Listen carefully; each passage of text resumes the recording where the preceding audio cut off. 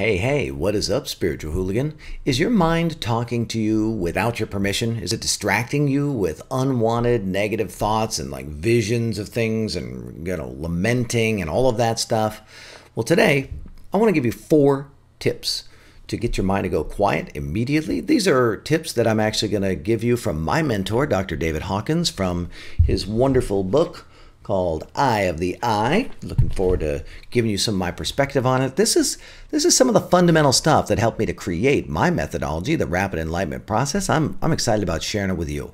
My name is Matthew Ferry, and I'm bringing you your daily enlightenment. It's your moment to pause, to slow down, to get connected to enlightened perspectives. I want to help you to quiet your mind so that we can restore your peace. So let's just dig in. Four tips. These are from Doc Hawk, and this is his. Uh, that's what that's our our little nickname for him, Doc Hawk.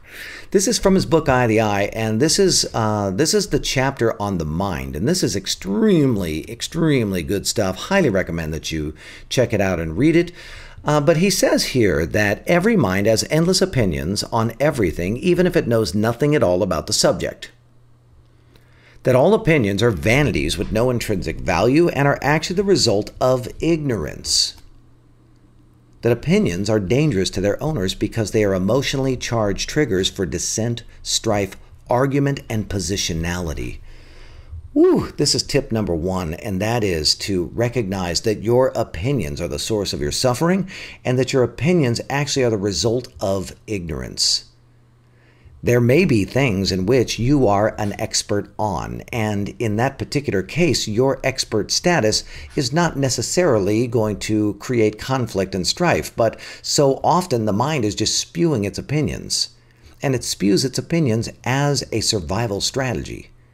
It wants to make sure that you look like you know stuff it wants to make sure that it has an assessment about everything. Because if it has an assessment about everything, then you will, quote unquote, understand the world and be able to navigate better. But the whole thing is a farce.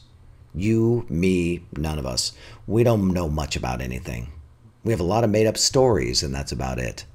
So that's tip number one. Here's the next section the letting go of all pretensions to knowledge or of knowing about anything is a great relief. and it is experienced as a tremendous benefit instead of a loss, as one had feared. One had been, without knowing it, in bondage to the content of the mind. And therefore, the release from mind is accompanied by a profound sense of peace and absolute security. When this occurs, one is finally profoundly at home at last, with no doubts remaining. There is nothing more to be gained, nothing which needs to be accomplished or thought. Its finality is absolute, profound, motionless, and still. The absolute, the sorry, the endless nuance of desires. I said that wrong, even, okay? the endless nuisance of desires and wants and pressure of time have come to a final end and their hollowness stands revealed. So this is the second tip for getting the quiet to, to getting the mind to quiet from our good friend Dr. Hawkins, and that is that there's a letting go of the pretension, pretending essentially, pretensions to knowledge or of knowing anything. And he says that when you let go of these pretensions to knowledge or of knowing anything, there is a great relief. And this is so profound. Your mind will go silent very quickly when you start to admit you don't know anything. All you know is what you've been told. All you know is what you've been observed. What you're observing is through your senses. Science will tell you that what you observe through your senses is predominantly BS and that when we look with more critical eye or uh, with instruments with more precision, we see that what we're experiencing is not the truth at all. So that's number two. Number three is a little shorter. He says, all positions, all, as positionality ceases, one becomes aware that it was the source of all prior miseries, fears, and unhappiness, and that every positionality is inherently in error. So important. Positionality, the release of positionality. What you start to see is that when you take a position on something, you automatically say that the other things that are not this are wrong, or I deny them, or I resist them.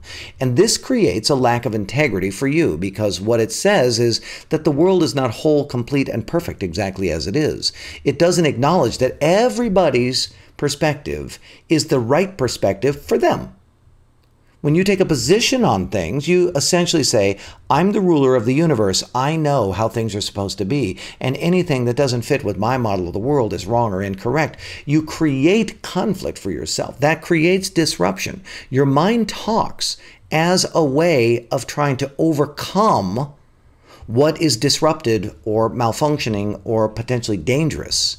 When you are in a state of all is well, your mind stops talking because there's nothing to talk about.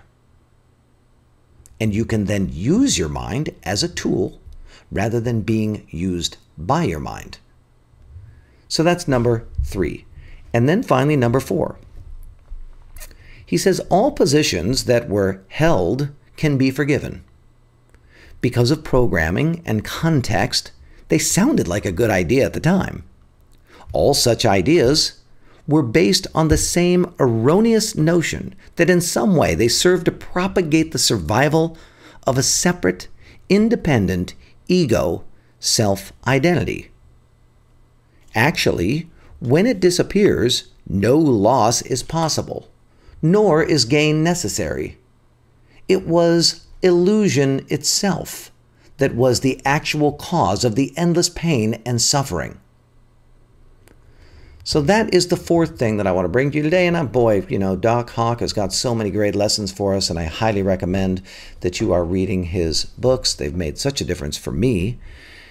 But the fourth one is to forgive the positions that you've taken on so you don't make yourself wrong, and you forgive the positions that other people have taken on. And that's my question for you today. What will you do to remove the motivation for thinking so you can get your mind to go quiet today? Will you release your opinions? Will you let go of this pretense about knowledge and knowing things? Will you release your opinions? Will you forgive yourself for the positions you've taken or others for the positions that they've taken? Leave me a comment. I want to know what you're thinking and what you will do. My name is Matthew Ferry, author of Quiet Mind Epic Life. Will you make sure to like this video? I mean, you watched it all the way through. Will you like it? Will you share it? Share it with your other fellow hooligans. It'll make a difference in their life like it's making a difference in your life. Leave me a comment. Those three actions actually tell YouTube that this is a video worth sharing. It tells YouTube other people should watch this. So it makes a difference for me. I appreciate your likes and your and your comments and your sharing, but it also makes a difference for other people out there in the world. Now, if you're digging the things that I'm saying, make sure to subscribe to my channel. You can press the subscription button right there. You can also press the little bell button, and then you get little indicators, notifications when I get a when I put a new video out. And if you haven't noticed, I put a new video out every single day. All right. I also encourage you to jump over to Facebook and join us in our Spiritual Hooligan Facebook group. There's a whole bunch of us just like you, and we're all communing together in this group talking about these ideas. I'll put the link down below. Thanks again for tuning in to this daily enlightenment.